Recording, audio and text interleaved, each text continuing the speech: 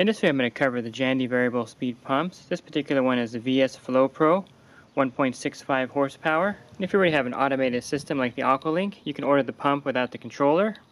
And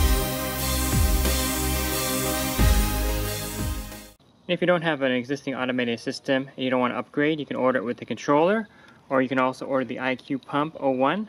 So I'm going to remove the pump from the box and show you what comes included with it. So inside the box is the installation and operation manual.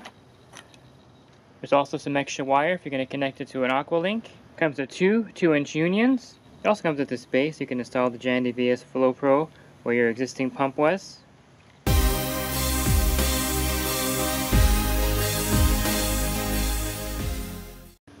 So if you're going to remove a Hayward Super 2 pump and put this Jandy pump in its place, you would just put the Jandy pump on top of the base here. And if you're replacing a Pentair Whisper Flow, you would use this base, but you would also add these spacers here. I'll show you in the installation here. I'm going to replace the Whisper Flow pump in the installation video. And the Jandy variable speed pumps are very easy to install. They have an easy to access area in the back for the wiring.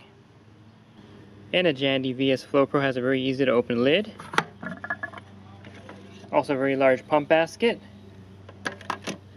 And for most pools, a 1.65 horsepower variable speed pump would be sufficient. If you have a really large pool or a pool with a lot of water features, you may want to go with a 2 horsepower variable speed pump. Besides the 1 horsepower VS FloPro that I show you in this video, Jandy makes a variety of other variable speed pumps. You can visit their website to see the other variable speed pumps available by Jandy.